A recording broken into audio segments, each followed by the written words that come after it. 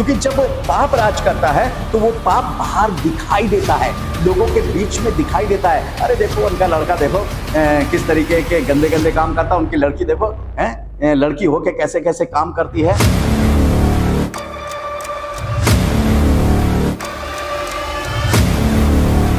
प्रभु यीशु मसीह के मधुर नाम में आप सबको जय मसीह की। प्रभु आप सबको बताए से आशीष दे आमीन। हम सीख रहे हैं प्रकाशित वाक्य की पुस्तक के बारे में। प्रकाशित वाक्य के इस श्रृंखला में आप सबका स्वागत है। पिछले संदेश में हमने सीखा था प्रकाशित वाक्य एक अध्याय के पाँच पद में। वहाँ पर हमने तीन बातें जो थी, वो सीखी थी। प्रभु यीशु मसीह के बारे में। पहली क्या सीखी थी? कि वो विश्वास योग्य साक्षी है।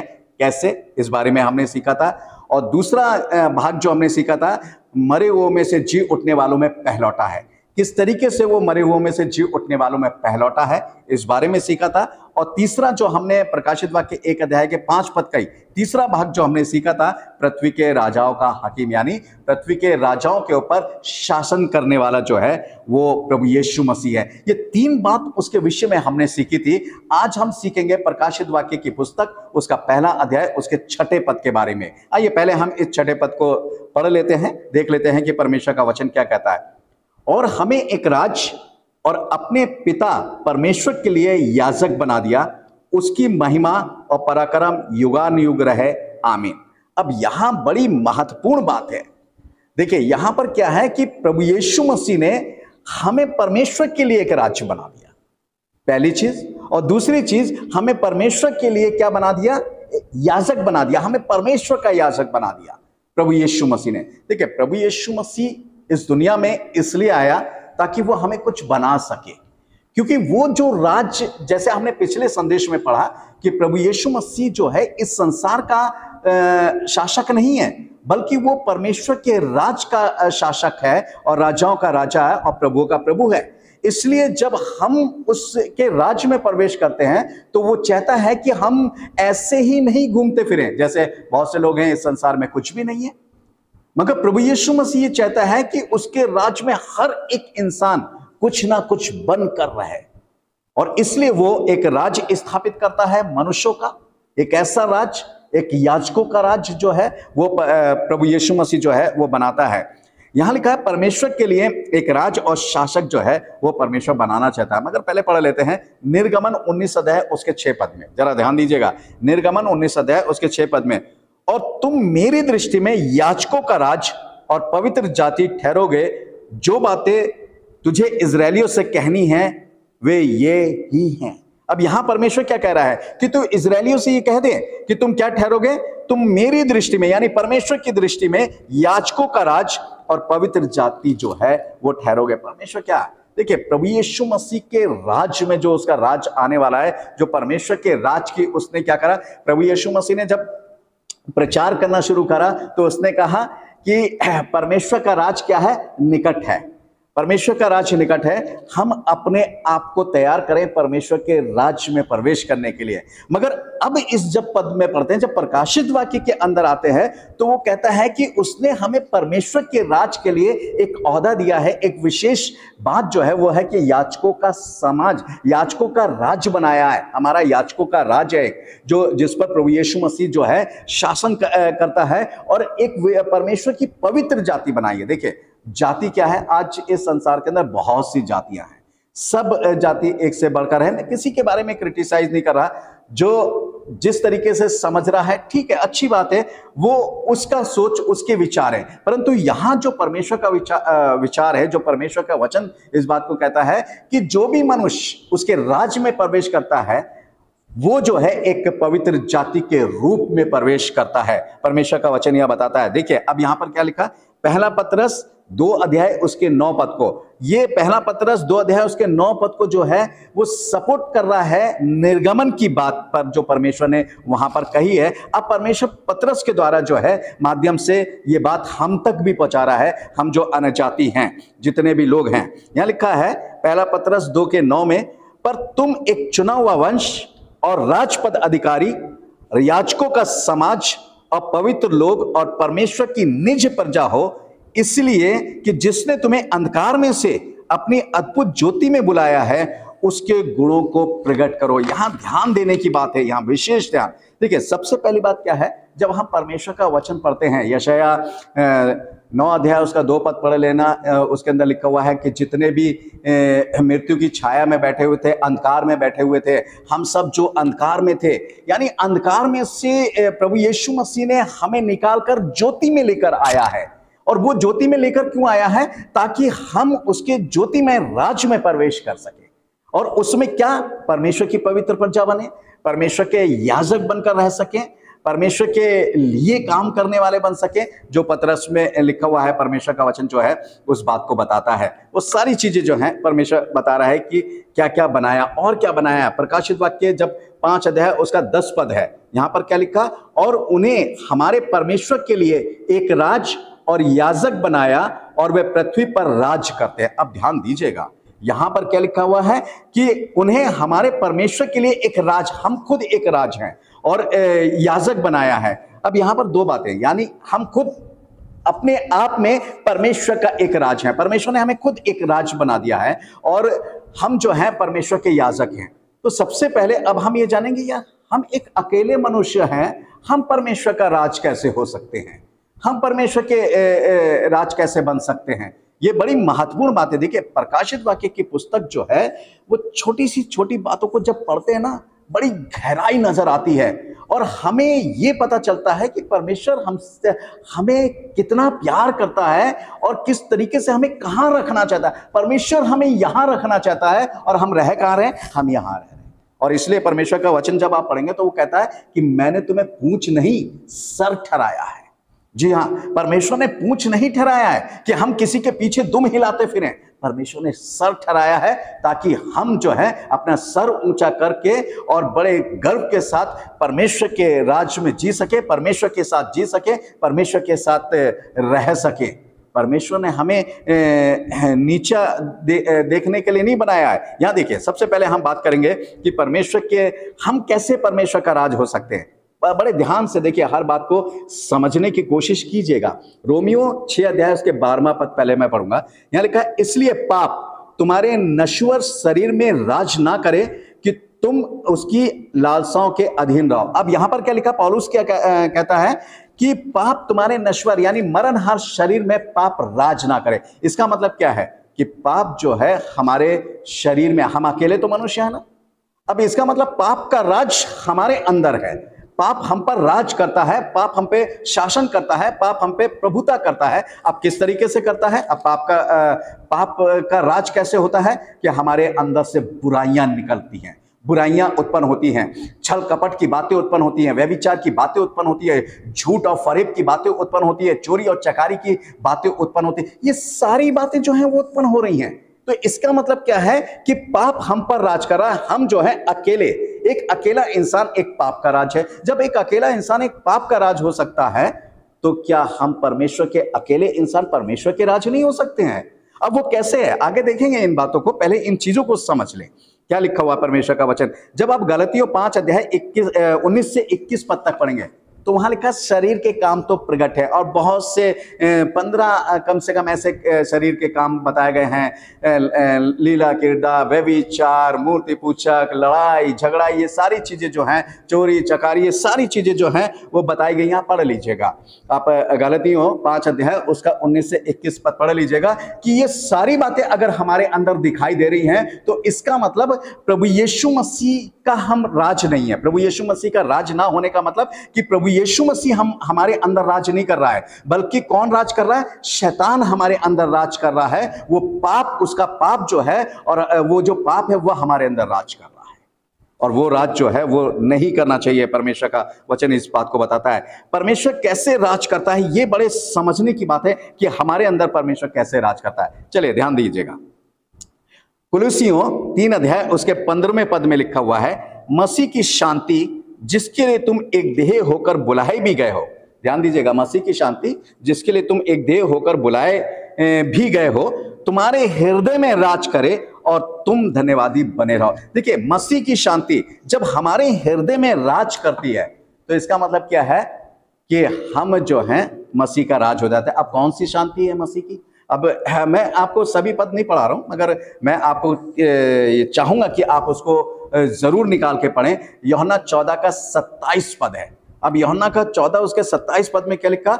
मैं तुम्हें शांति दिए जाता हूँ, अपनी शांति तुम्हें देता हूँ, जैसा संसार देता है, मैं तुम्हें नहीं देता। तुम्हारा मन व्याकुल ना हो और ना डरे।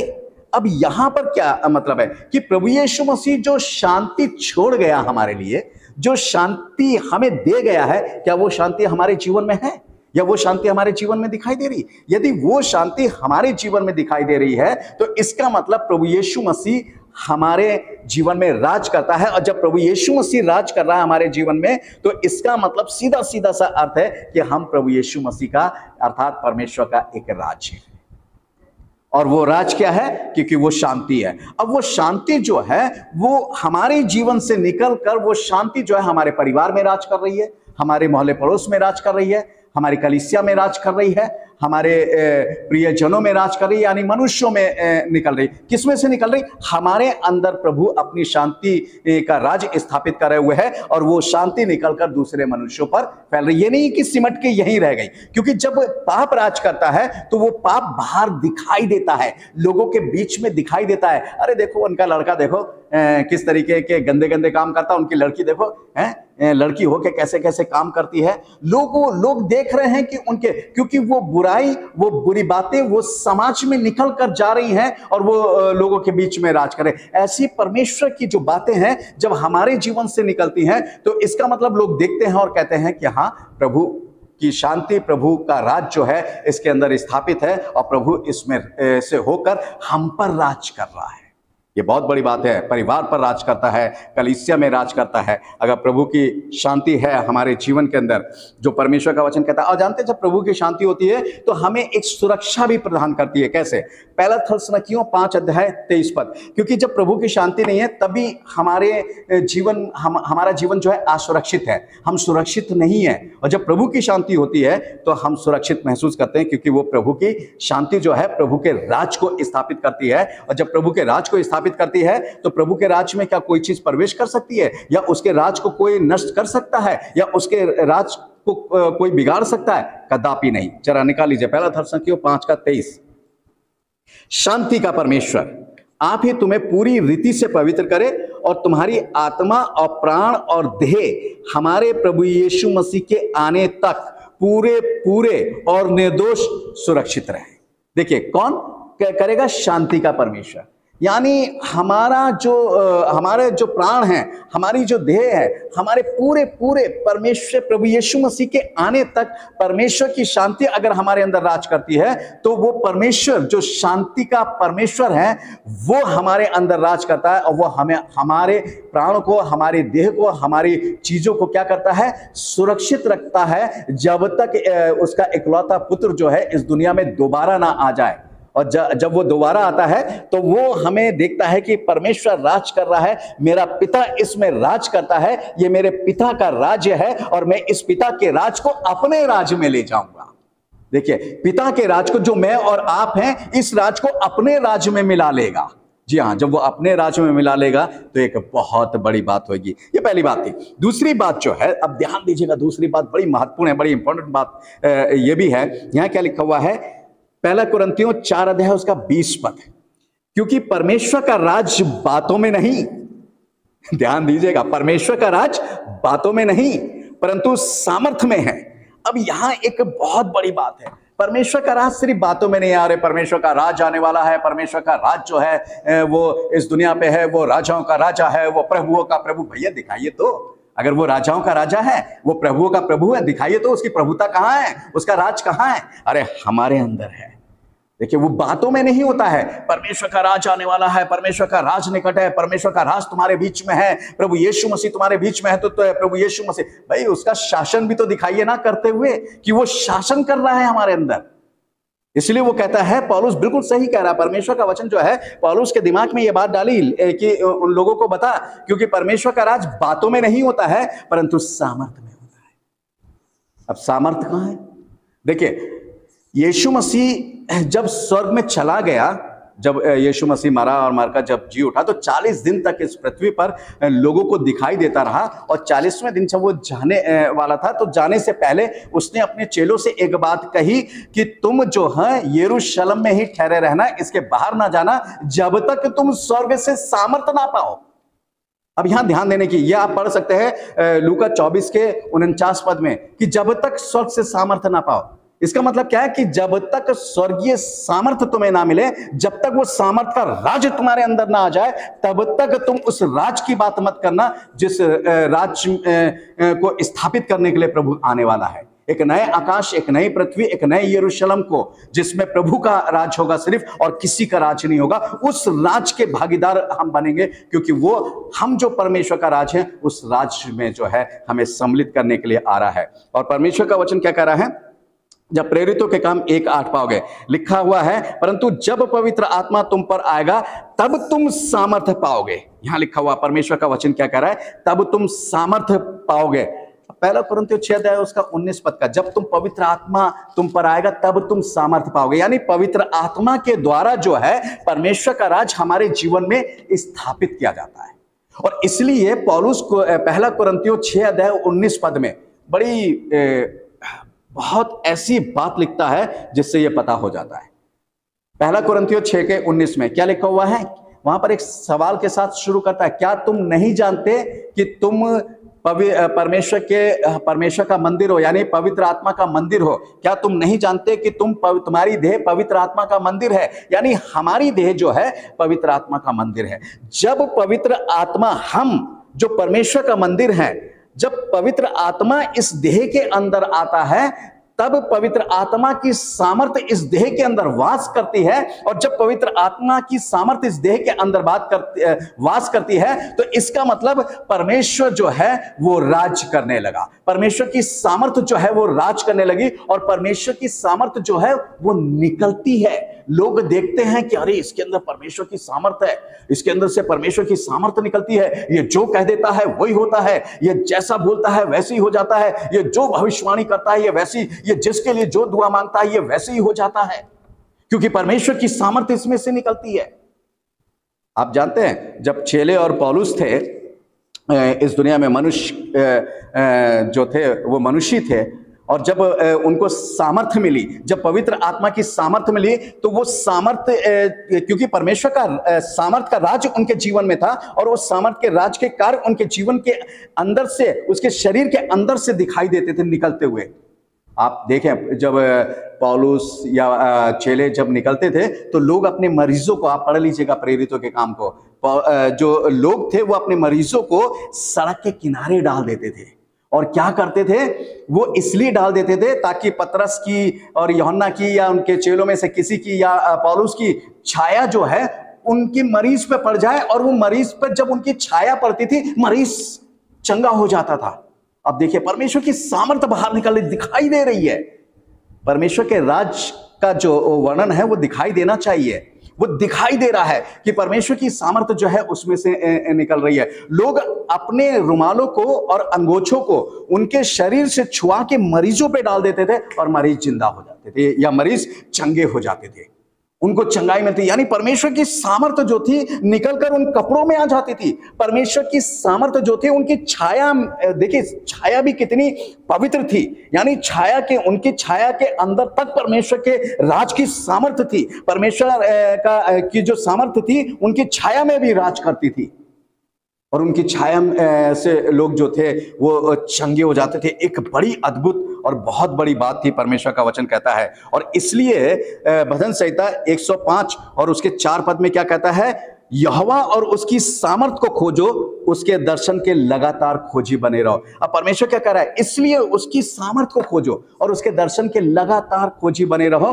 क्यों खोजी बने रहो? ताकि परमेश्वर का दर्शन मिले और हमें उसकी सामर्थ्य प्राप्त हो जाए। इसलिए परमेश्वर कहता है। और फिर क्या कहता है?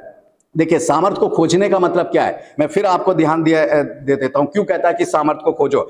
मती छह के तैतीस में लिखा हुआ है, इसलिए पहले तुम परमेश्वर के राज और उसके धर्म की खोज करो तो ये सब वस्तुएँ तुम्हें मिल जाएँगी। क्या कह रहा है? वो भजन संहिता में क्या कह रहा है कि उसकी सामर्थ को खोजो। और सामर्थ को खोजने का मतलब क्या है? कि हम उसके राज को खोजें। उसकी सामर्थ के राज को खोजे। परमेश्वर का वचन जो है, इस बात को बता रहा है, मेरे प्यारे भाइयों बहनों आइए, हम परमेश्वर के राज में जो है, प्रवेश करें। परमेश्वर के राज को खोजें। परमेश्वर का वचन इस बात को कहता है। अब एक बात मैं आपको और बताना चाहता हूँ। लूका सत्रह जरा बीस जरा ध्यान से पढ़िएगा।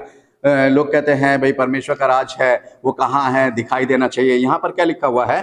जब फरीसियों ने उससे पूछा कि परमेश्वर का राज कब आएगा तो उसने उनको उत्तर दिया, परमेश्वर का राज दृश्य रूप में नहीं आता। दृश्य रूप में का मतलब क्या है? कि ऐसा नहीं है कि वो दिखाई दे रहा है। कि ये है परमेश्वर का राज। अब भैया, क्या है? ये हिंदुस्तान है यहाँ पर जो है सब हिंदुस्तान के राजाओं का राज है।